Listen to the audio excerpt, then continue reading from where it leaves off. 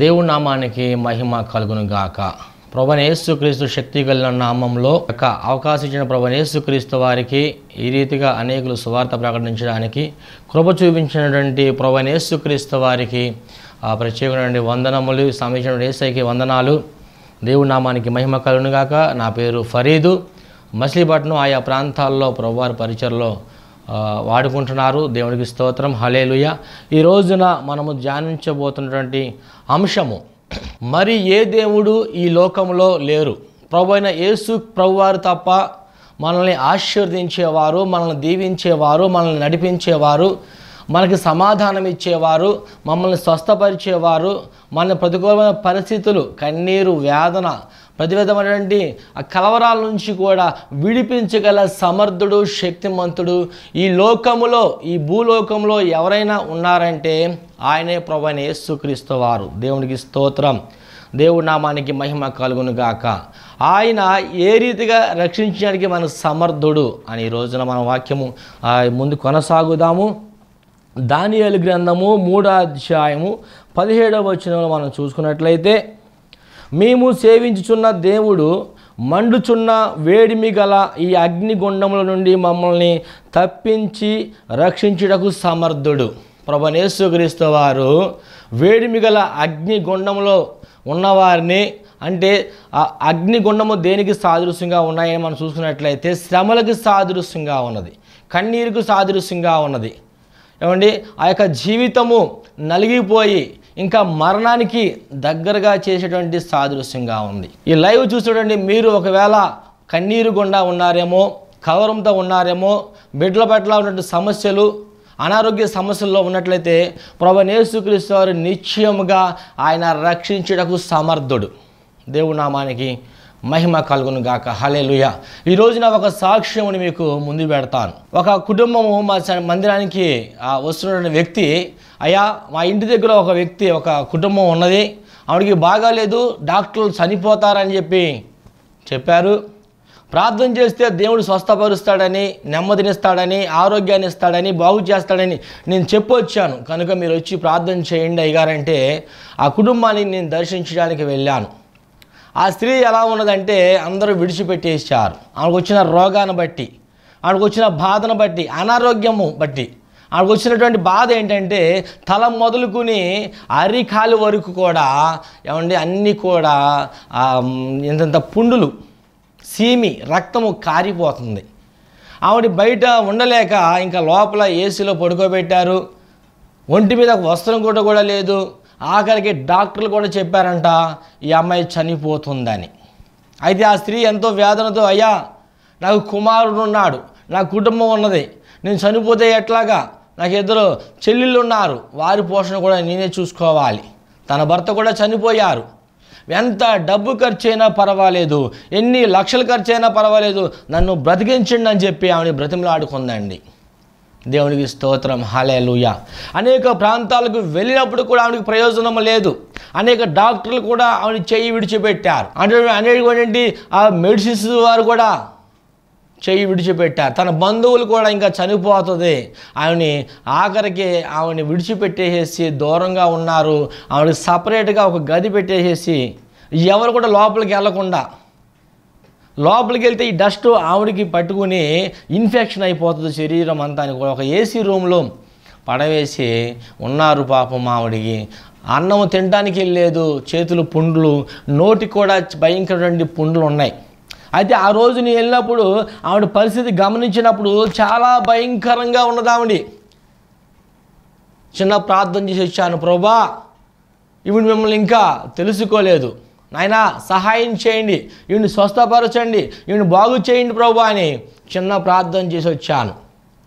మరలా మూడో రోజు ఫోన్ చేసి అమ్మ ఎలా ఉందని ఫోన్ చేసినప్పుడు ఆ స్త్రీ అన్నది అయ్యా నేను ఇంకా వారం కంటే ఎక్కువ బ్రతకనంట. చెప్పారయ్యా డాక్టర్లు. అని చెప్పి అన్నప్పుడు అలా ఏం జరగదమ్మా. దేవుడి దగ్గరని ఆశ్రయించావు కాబట్టి దేవుని వద్దకు నువ్వు వచ్చావు కాబట్టి నిశ్చయంగా దేవుడు నువ్వు నమ్ముకున్నావు కాబట్టి ఆయన రక్షించడానికి సమర్థుడు. ఇప్పుడు ఒకవేళ అనేక మంది దేవుళ్ళు నమ్ముకుని ఉండొచ్చు. వారి సహాయము నీకు లేదు. నీ ధనము సహాయము నీకు లేదు. నీ జ్ఞానము కానీ నీ శక్తి కానీ నీ బంధువులు సహాయం కానీ రక్షించేవారు ఎవరు లేరు. అయితే ఈ రోజున ప్రభు యేసుక్రీస్తు వారికి వచ్చావు కాబట్టి ఆయన్ని నమ్ముకున్నావు కాబట్టి నిత్యంగా ఆయనని రక్షిస్తాడమ్మా అని చెప్పి ఇంటికి వెళ్ళి ప్రార్థన చేశాను. పాప మా మంచం మీద కుమారుడు తల దగ్గర ఏడుస్తున్నాడు. ఆ ఇద్దరు అక్క చెల్లెలు కూడా ఏడుస్తున్నారు. అయ్యా మా అక్క చనిపోతే మా పరిస్థితి ఏంటయ్యా? అని ఏడుస్తూ ఉంటుంటే నాకు కూడా చాలా బాధ కలిగింది. నాకు కూడా ఎంతో ఏడుపు వచ్చి నేను అక్కడే మోకరించి ప్రభువా నువ్వు సహాయం చేసే దేవుడు కథ నాయన అని మోకరించి ఒకటే ప్రార్థన చేశాను. హిజ్కియా మరణకరమైన రోగంలో ఉన్నప్పుడు ప్రభువా హిజ్కియాని నువ్వు స్వస్థపరిచావు. హిజ్కియాని నువ్వు నెమ్మదినిచ్చావు ఆరోగ్యాన్ని ఇచ్చావు నిలబెట్టావు. అదే రీతిగా తండ్రి ఈ సహోదరిని కూడా లేవనెత్తయ్యా. ఈ సహోదరిని నిలబెట్టయ్యా. నీ సాక్షిగా ఉంచాయి అని చెప్పి చిన్న ప్రార్థన చేశానండి. దేవునామానికి మహిమ కలుగును గాక. చిన్న ప్రార్థన చేసి వెళ్ళిపోయాను. మూడో రోజు నాలుగో రోజు నుంచి ఆడుకున్నటువంటి ఆ దెబ్బలన్నీ కూడా ఏమైతే చీమి కారుతుందో ఏదైతే రక్తం కారుతుందో ఏ దెబ్బలైతే ఆవిడ్ని బాధ పెడుతున్నాయో మంట ఉండేట్లా చేస్తున్నాయో ఆ దెబ్బలన్నీ కూడా ప్రతి రోజుకి రోజుకి రోజుకి రోజుకి మాడిపోతా వచ్చేసినాయి అండి. దేవునికి స్తోత్రం. హాలాలుయ నాలుగు రోజుల తర్వాత డాక్టర్ గారు అన్నారంట అమ్మా నువ్వు ఏం వాడావమ్మా? నీ దెబ్బలన్నీ కూడా మాడిపోతున్నాయి. నీ పుండ్లన్నీ కూడా మాడిపోతున్నాయి. ఏది రాసావు ఎక్కడికి వెళ్ళావు? అక్కడికి వెళ్ళావా నువ్వు? అన్నప్పుడు ఎక్కడికి వెళ్ళలేదయ్యా. పాస్టర్ గారు ప్రార్థన చేశారు. ఆ రోజు నుంచి నేను భోజనం చేస్తున్నాను. నాకున్న దెబ్బలన్నీ కూడా మాడిపోయి మాడిపోతా వచ్చినాయి. అన్నప్పుడు చనిపోతున్న డాక్టర్ అన్నాడంట నీ దేవుడు గొప్పవాడు. యేసుప్రభు గొప్పవారు. అని చెప్పి ఒక పది పదిహేను రోజుల తర్వాత ఆవిడ లేవలేని స్థితి మంచంలో ఉన్న ఆవిడ ఇద్దరు పైకి పట్టుకున్న లేవలేని స్థితిలో ఉన్న వ్యక్తి ఒకనొక రోజు నేను చూస్తున్నప్పుడు బండి తోలుకుంటూ ఏమంటే వస్త్రాలు కూడా వేసుకుంటే అవకాశం లేదు. చీర కట్టుకుంటా కానీ కట్టుకునే అవకాశం లేదు. ఎందుకంటే మంట మంట బట్టలు మీద వేసుకుంటే మంట ఆవునికి. అలాంటి వ్యక్తిని దేవుడు స్వస్థపరిచి ఏం చేశారంటే మంచి వస్త్రాలు కట్టుకుని ఒక రోజున ఆవిడ బండి మీద డ్రైవింగ్ చేసుకుంటూ వెళ్తా ఉంటంటే నేనే ఆశ్చర్యపోయా. దేవుడికి స్తోత్రం. ఆయన చేసే కార్యాలు అద్భుతమైన కార్యాలు ఆశ్చర్యమైన కార్యాలు. అలాగే నువ్వు ఈ లైవ్ చూస్తున్నా నీవు ఒకవేళ అలాంటి సమస్యల గుండగా ఒకవేళ వెళ్తున్నావేమో అప్పుల సమస్యల గుండగా బాధతో కన్నీటితో వేదనతో నీ సమస్యలు ఎవరికి చెప్పుకోలేక నీకు అనారోగ్యాలు ఎవరికి చెప్పుకోలేక నీకున్న పరిస్థితులను బట్టి ఎవరితో నువ్వు చెప్పుకోలేక ఒకవేళ ఉన్నట్లయితే నిశ్చయముగా ఆయన భయభక్తులు కలిగి ఆయన నమ్మకం ఉంచి విశ్వాసం ఉంచి నువ్వు ఆయన సన్నిధిలో నిలిచిన ఎడల నిశ్చయంగా ప్రభు యేసుక్రీస్తు వారు స్వస్థపరుచుటకు సమర్థుడు శక్తిమంతుడు ఆయన. దేవునామానికి మహిమ కలుగునుగాక. హలేలుయ అప్పుడు దాకా ఆమె అనేకులను ఆశ్రయించింది. అయినా ప్రయోజనం లేదు. దేవునామానికి మహిమ కలుగునుగాక. ఈ షడ్రకు మెషకు అభిజ్ఞులు కూడా అంటున్నారు ఒక మాట. ఈ మండుచున్న వేడిమి గల అగ్ని గుండంలో నుంచి మమ్మల్ని తప్పించుటకు మమ్మల్ని రక్షించుటకు ప్రభుత్వ యేసు క్రీస్తు వారు నేను నమ్మిన దేవుడు నీ నమ్మకం ఉంచిన దేవుడు ఆ విశ్వాసం ఉంచిన దేవుడు మమ్మల్ని రక్షించుటకు సమర్థుడని చెప్తున్నాడు. అయితే వారు అగ్నిగుండంలోకి వెళ్ళడానికి గల కారణాలు ఏంటని మనం చూసుకున్నట్లయితే షడ్రగ మెషకు అభిజ్ఞులు దానియాలు ఈ నలుగురు కూడా ఎరుశల్యం నుంచి బబులోని దేశానికి బానిసలుగా అక్కడ తీసుకువచ్చారు. బానిసలుగా తీసుకువచ్చిన వారిని ఆ నలుగురిని కూడా ప్రత్యేకంగా రాజుగారు వారిని తయారు చేయండి. మన పనుల నిమిత్తము మన పనులు చేయడానికి అన్నప్పుడు అక్కడ ఉన్నవారు ద షడ్రమేష అభిజ్ఞులని మంచి సంరక్షణలో వారిని పెంచుతారు. దేవుడి నామానికి మహిమ కలును గాక అది మనకు దాని గ్రంథం మొదటి అధ్యాయం అంతా కూడా మనకి కనబడుతుంది. రెండో అధ్యాయం మనం చూసినట్లయితే నెబుకదేజరికి ఒక రోజున కళ వస్తుందండి. ఆ కలభావము ఏమంటే అతను వచ్చిన కళ అతను మర్చిపోతాడు. పొద్దున్నే కలవరముతో లేచి కలత చెంది అంటాడు అక్కడున్న వారందరూ జ్ఞానులే కానీ ఏమండి అతని దగ్గర ఉన్న శాస్త్రులే కానీ ప్రతి ఒక్కరు కూడా పిలిచి అయ్యా నాకు కళ వచ్చింది కలభావం ఏమైనా చెప్పగలుగుతారా? అంటే వారు అంటున్నారు రాజా కలభావం చా కళ చెప్తూ కళ చెప్పండి నాకు. నేను ఆ కలభావం చెప్తామని చెప్పి అన్నారు. ఆ రాజుగారు అంటున్నారు కలయ మర్చిపోయాను అంటున్నాడు అలాగే ఏం చెప్పాలో అర్థం కాల. ఒరే మనకు వచ్చిన కళే మనకు గుర్తుకుంటే అది చెప్పడానికే కష్టమైపోతుంది ఈ రోజుల్లో. అమ్మ నాకు ఇలా కళ వచ్చిందమ్మా ఇలా దర్శనం వచ్చిందమ్మా చెప్పండి అమ్మా అంటే ఏమోనమ్మా చాలా మర్మంగా ఉంది ఏం అర్థం కావట్లేదు. అని మనకు గుర్తున్న కళలే మనం చెప్పడానికి చాలా కష్టమైపోతున్నటువంటి పరిస్థితులు. కానీ ఆ రోజుల్లో ఆ కలభావం చెప్పడానికి అక్కడున్న వారు ఎవ్వరు కూడా సాహసము చేయలేకపోయారు. అయితే రాజుగారు మహా కోపం తెచ్చుకుని నాకు వచ్చినటువంటి కళని మీరు ఎవరు చెప్పలేకపోతున్నారా? మీరు ఇంకా నాకెందుకు? ఎంతకాలం మిమ్మల్ని పెంచుతున్నాను పోషిస్తున్నాను మీకు అన్నీ పెడుతున్నాను అన్నీ చేస్తున్నాను నాకు సహాయం పడని గారికి మీరు మాకెందుకు? కనుక మిమ్మల్ని సమ్మరిచ్చేస్తానని చెప్పి ఆయన అన్నాడండి. నిజమేనండి రోజున మనిషికి సహాయపడేవారు ఎవరైనా ఉన్నారంటే వారిని చూస్తారు కానీ నీ సహాయము లేకపోతే మనిషి ఎవరు నిన్ను కూడా చేర్చుకోడు. దేవుడు నామానికి మహిమ కలును మనిషితో మనిషికి సహాయం ఉన్నవారికే సహాయం చేసే రోజులు ఇవి. అతనితో అవసరత ఉన్నప్పుడే నిన్ను పొగిడేవారు. నీతో అవసరం ఉన్నంత వరకే నీతో మాట్లాడేవారు. నీతో అవసరత ఉన్నంత వరకే నిన్ను చేరదీసేవారు. నీతో అవసరత ఉన్నంత వరకే నిన్ను పొగిడి ఉన్నతమైనటువంటి స్థితిలో పెట్టేవారు. నీతో అవసరంగా లేకపోతే నీవు జ్ఞానివి కాపోతే డబ్బు లేనివాడివి కాపోతే మాటకారివి కాపోతే మంచి కులంలో గోతంలో పుట్టినవాడివి కాపోతే లేకపోతే మంచి నీ జ్ఞానము నీ శక్తిగా నీకు లేకపోయిన పక్షంలో ఏమండి? విడిచిపెట్టేటువంటి జనాంగము జీవిస్తున్న రోజులు అవి. ఆ రోజుల్లో కూడా రాజుగారు అన్నారు మీరు మాకు వద్దు వెళ్ళిపోండి. వెళ్ళిపోవడమే కాదు కానీ మిమ్మల్ని చంపేస్తానని చెప్పి ఆ రాజుగారు ఆజ్ఞ జారీ చేసినప్పుడు ఆ రాజ్యంలో ఉన్న వారందరూ కూడా గడగడ ఒరిగిపోతున్నారు. ఏం చేయాలో అర్థం కావట్లేదు. ఆ టైంలో దానియేలు గారు బయట వేరే ప్రాంతానికి ఏదో పని మీద వెళ్ళి ఉంటారని చెప్పి అనుకుంటున్నాం. దానియేలు గారు ఆ ప్రాంతానికి ఆ రోజున వచ్చారు ఆ దేశానికి వచ్చారు. వచ్చినప్పుడు ఈ యొక్క ఉన్నవారందరూ ఆ రాజ్యంలో ఉన్న అందరూ కూడా భయపడిపోతున్నారు వణిగిపోతున్నారు అయ్యో రేపు వదిన మనకి మరణమే మనకి మరణమే మన మరణమే. దేవుడి నామానికి మహిమ కలును గాక. హలేలుయా ఎందుకయ్యా మరణం అంటే రాజుగారి కల వచ్చిందంట ఆ కలభావం చెప్పదు చంపేస్తారన్నప్పుడు ఈ దానియేలు ధైర్యముగా కళలో చెప్పగల దేవుడు మన దేవుడు ఉన్నాడు. కళలు ఏ కళ అయినప్పుడు కూడా ఆయన వివరించగల సమర్థుడు శక్తిమంతుడు అని చెప్పి రాజుగారి దగ్గరికి వెళ్ళి అయ్యా నీ కలభావం ఏంటో? నా దేవుడైన యహో సహాయముతో ప్రభు నేసుక్రీస్తు వారి సహాయముతో నేను చెప్పగలుగుతాను అన్నప్పుడు ఆ ముగ్గురు స్నేహితులను తీసుకుని ఇంటికి వచ్చేస్తారు. ఇంటికి వచ్చి ఆ నలుగురు కలిసి ప్రార్థించినప్పుడు దేవుడు ఆ కలభావం యొక్క మర్మము బయలుపరిచాడు. దేవునికి స్తోత్రం. ఈ ముగ్గురు నలుగురు స్నేహితులు కూడా ఎంతో ఇరువురు నలుగురు కూడా ఎట్లా ఉన్నారంటే ఐక్యత కలిగి ఉన్నారు సమాధానం కలిగి ఉన్నారు. ఒకరంటే ఒకరు ప్రేమ కలిగి ఉన్నారు. ఒకరి మనసులో ఒకరు కలిసిని ఆ రీతిగా ఆ నలుగురు ఏ రీతిగా కలిసి ప్రార్థన చేసినో దాని జవాబు వచ్చింది. అలాగే నీ స్నేహము ఎవరితో చేస్తున్నావు? ఆత్మీయ కలిగిన వారితో చేస్తున్నావా? ఐక్యత కలిగిన వారితో చేస్తున్నావా? నీకు సహకరించేవారితో చేస్తున్నావా?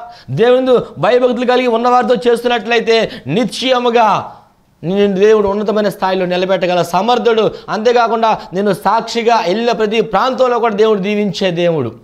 కలభావము చెప్పడానికి నలుగురు సిద్ధపడ్డారు. ఈ దానియలు గారు కనిపెడుతున్నారు. ప్రార్థన చేస్తూ ప్రార్థన చేస్తూ కలభావము దేవుడు వారు బయలుపరిచినప్పుడు రాజుగారి దగ్గరికి వెళ్ళి అయ్యా ఈ కలభావము నేను చెప్తామన్నప్పుడు సిద్ధపడినప్పుడు ఆ కలభావం మొత్తం అంతా కూడా దానియేలు వివరించినట్లుగా మనకి రెండో అధ్యాయంలో మనకు కనబడుతుంది. అప్పుడు వరకు పెంచి పోషించిన తన జ్ఞానులు ఎవరు కూడా కలభావం చెప్పలేకపోయారు కానీ దానియేలు మాత్రము షడ్రమేష అభిజ్ఞులు దేవుని యొక్క ఆత్మ కలిగిన వారు మాత్రమే మానవులు బయలుపరచగలవారు. దేవుడి యొక్క ఆత్మ కలిగిన వారు మాత్రమే అనేకులను రక్షించేవారు. దేవుడి ఆత్మ కలిగిన వారే అనేక మంది కన్నీరు వ్యాధన తొడగలవారు. అలాగే అక్కడ ఉన్నటువంటి బబులలో ఉన్నటువంటి మాంత్రికుల్ని కానీ వారందరి యొక్క ప్రాణము కాపాడే ఎవరు కాపాడారంటే దానియేలు కాపాడినట్లుగా మనం చూస్తామండి. దేవుడి నామానికి మహిమ కలుగును గాక. హలేలుయ ఆ ప్రాంతం అంతా మీద వీళ్ళని దానియేలు షట్రమిష అభిజ్ఞుల్ని విచారణకర్తలుగా పెట్టినప్పుడు అక్కడ వారందరూ కూడా ఒరే వీరు ఎక్కడి నుంచో బానిసలుగా వచ్చి మన మీద పెత్తలను చెల్లాయించడం ఏంటి? మన మీద అధికారం చెల్లాయించడం ఏంటి? వీరిని ఏదో రకంగా ఇక్కడి నుంచి తరిమేద్దాం లేకపోతే చంపేద్దాం అని చెప్పి వాళ్ళు ఒక ప్లాన్ వేస్తారండి.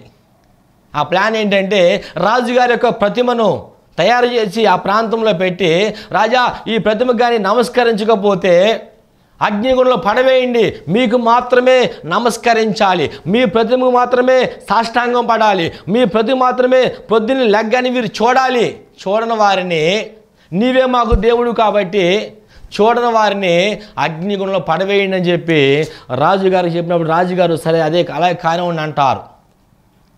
అది షటర్మిష అభిజ్ఞుల గురించి వాళ్ళకి తెలుసు. వీరు ప్రభు యేసుక్రీస్తు వారు తప్ప ఎవరికి నమస్కరించరు.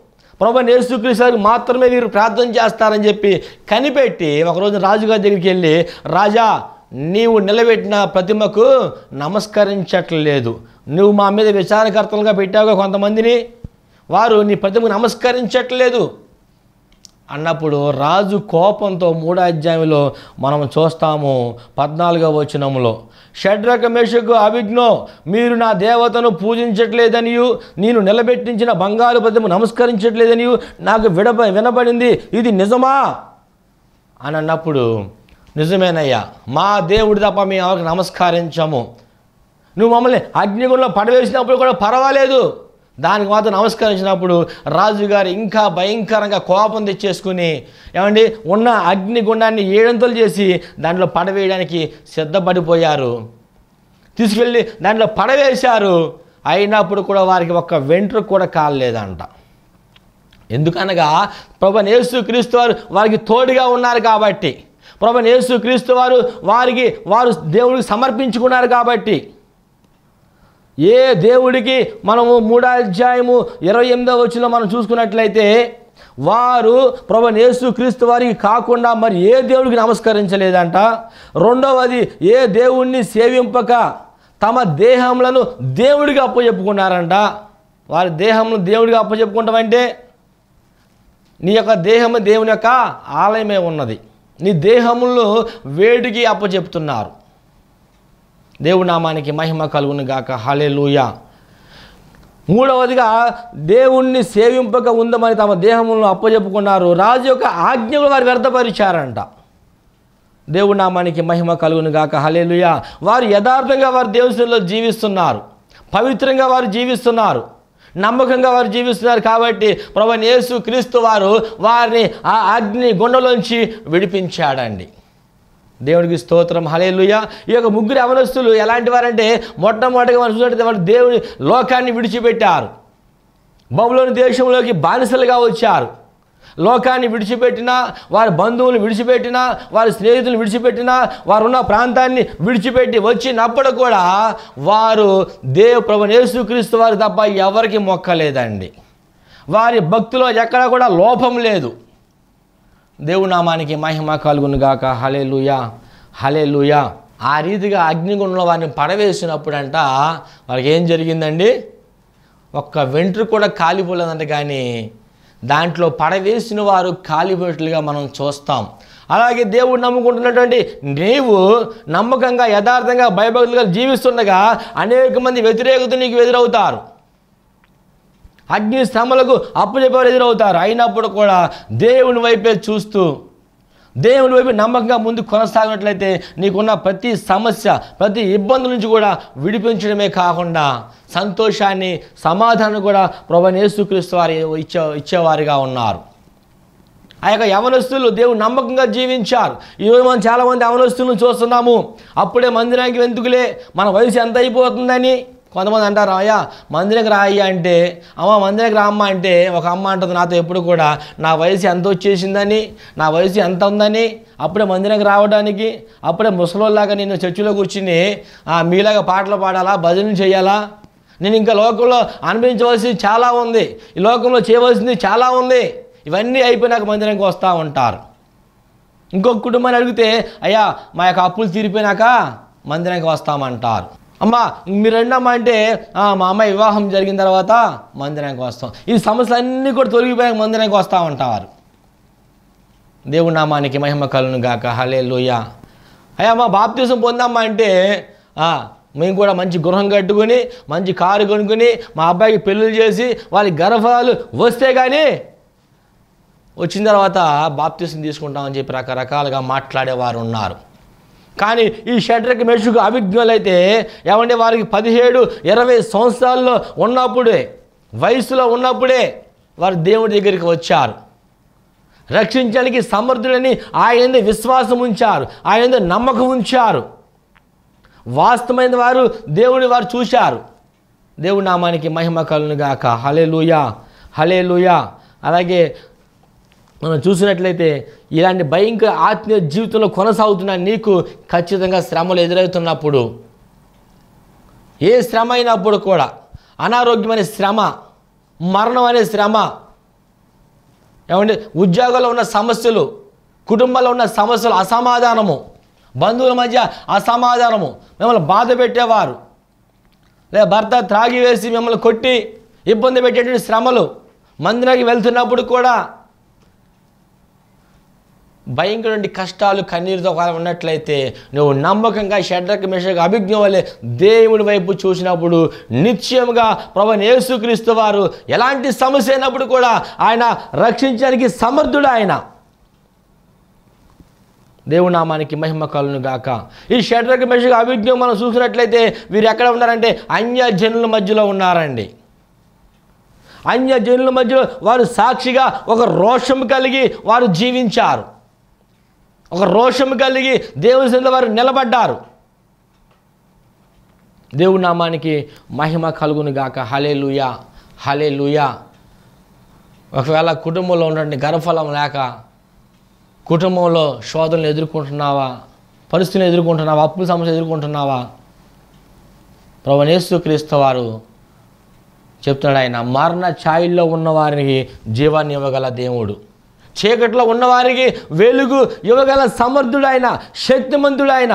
హలా లూయ హలే లూయ ఇక బబులోని దేశంలో నెబుకద్రేజర్ అనే ఒక రాజుగారు ఒక సాక్ష్యం ఇస్తున్నాడు చూడండి. వారు అంత యథార్థతను బట్టి దేవుందు నమ్మకంగా జీవించిన విధానాన్ని బట్టి దేవుళ్ళు పవిత్రంగా జీవించిన విధానాన్ని బట్టి వారు ఆ శ్రమ నుంచి తప్పించబడిన తర్వాత రాజుగారు ఆశ్చర్యపోయి చూడండి ఇరవై నాలుగో అధ్యాయము మూడో దాని గంధం మూడో అధ్యాయము ఇరవై నాలుగో వచనంలో రాజాకు నెబుకద్రేజరు ఆశ్చర్యపడి తీవ్రముగా లేచి మేము ఈ ముగ్గురు మనుషులను బంధించి అగ్నిగుణంలో వేసిదిమి కదా అని తన మంత్రులను అడిగాను. వారు రాజా సత్యమే అని రాజుగారి ప్రత్యుత్తరం ఇచ్చినప్పుడు వారు అగ్నిగుణంలో పడవేసినప్పుడు కూడా కాలిపోలేదయ్యా. ఎందుకనగా వారు దేవుడే వారు నమస్కరించారు. ప్రభు నేసుకృష్ణ మాతో నమస్కరించారు. అలా నమస్కరించినప్పుడు ఆయన రక్షించడానికి సమర్థులని అని చెప్పి ఒక రాజుగారు సాక్ష్యం చెప్తున్నాడు. దాని కింద మూడో అధ్యాయం ఇరవై తొమ్మిదో వచ్చినములో కాగా నేనొక శాస్త్రము నియమించి ఉన్నాను. ఏదనగా ఈ విధముగా రక్షించుటకు సమర్థులకు దేవుడు కాక మరి ఏ దేవుడు లేంటున్నాడు హాలేలుయా అన్య జనాంగంలో నువ్వు సాక్షిగా నిలబడగలుగుతున్నావా? నాయకుల మధ్య నువ్వు సాక్షిగా నిలబడగలుగుతున్నావా? నీ ఉన్న స్నేహితుల మధ్య సాక్షిగా నిలబడగలుగుతున్నావా? నీ బంధువుల మధ్య సాక్షిగా నిలబడగలుగుతున్నావా? నీకున్నటువంటి నువ్వు చేసిన ఉద్యోగంలో సాక్షిగా నిలబడగలుగుతున్నావా?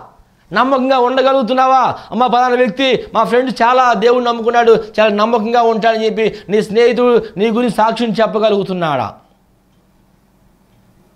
జ్ఞాపకం చేసుకుందాము. పరీక్షించుకుందాము. నిశ్చయముగా నీకున్న సమస్యలన్నింటినీ కూడా విడిపించగల సమర్థుడు శక్తిమంతుడు ఎప్పుడంటే షడ్రమేష అభిజ్ఞుల వలె పవిత్రంగా నమ్మకంగా యథార్థంగా ఆయన విశ్వాసం ఉంచి శ్రమంలో కూడా ఆయన దేవు ప్రభు యేసుకృష్ణ తప్ప ఎవరిని సేవించకుండా ప్రభు ఆయన యేసుకృష్ణ వైపు చూస్తూ నీ యొక్క హస్తాలు ఆయన వైపు ఎత్తుతూ నమ్మకంగా ఉన్నట్లయితే నీకున్న ప్రతికూల పరిస్థితులు అన్నింటిలోంచి కూడా విడిపించగల సమర్థుడు. అనేక మంది ఎదుట దేవుడిని సాక్షిగా నిలబెట్టడమే కాకుండా నిన్ను బట్టి అనేకులు మందిరానికి నడిపించగల సమర్థుడు శక్తిమంతుడు. నిన్ను బట్టి దేవుని యొక్క రాజ్యము కూడా కట్టబడుతుంది. నమ్మకంగా జీవించినట్లయితే ప్రభు యేసుక్రీస్తు వారు నీకున్న సమస్యలను కూడా విడిపించి సహాయం చేయగల దేవుడు. అటు దేవుని కృప ప్రభు యేసుక్రీస్తు కృప దయా కనికరం మీకు తోడే ఉండి నడిపించి ఆశీర్వదించునుగాక. Amen amen. ప్రార్థన చేసుకుందాం. పరిశుద్ధరా వందనాలు తండ్రి. ఈ నా ప్రభా అయా తండ్రి నెముకదేజుడు అంటున్నాడు మరి ఏ దేవుడు రక్షించడానికి లేడు? ప్రభు యేసుక్రీస్తు వారు మాత్రమే. షడ్రమేషు అభిజ్ఞులు నమ్ముకున్న దేవుడు మాత్రమే రక్షించగల దేవుడు అని చెప్పి ప్రభా నెబుకదేజుడు సాక్ష్యం చెప్పాడు ఆయన అలాగే మేము జీవిస్తున్న ప్రాంతంలో మేము ఉంటున్నటువంటి పరిస్థితుల్లో మేము ఉంటున్న కష్టాల్లో ఇరుకుల్లో ఇబ్బందుల్లో కూడా భయంకరమైనటువంటి అయాతర అగ్ని కూడా సమస్యలు వచ్చినప్పుడు కూడా నీవైపే చూసే కన్నులు నాకు మాకు అందరికీ దయచేయమని. తండ్రి దీవించి ఆశీర్వదించమని లైఫ్ చూస్తున్న ప్రతి ఒక్కరు కూడా మీరు జ్ఞాపకం చేసుకుని మేలుతో తృప్తిపరచమని నీకు నమ్మకంగా యథార్థంగా జీవించేవారిగా ఉన్నట్లుగా నీకు సాక్షిగా నిలబడినట్లుగా లేవనెత్తమని ప్రతికూలం పరిస్థితులు అందరైతే శోధింపబడుతున్నారో నెమ్మది లేక ఉన్నారో సమాధానం లేక ఉన్నారో వాళ్ళందరూ కూడా నీ కాపుద అనుగ్రహించమని యేసుక్రీస్తు నామంలో చిన్న ప్రార్థన అడిగి వేడుకొని సమర్పించుకుంటున్నాము తండ్రి. Amen amen amen. అందరికీ వందనాలు.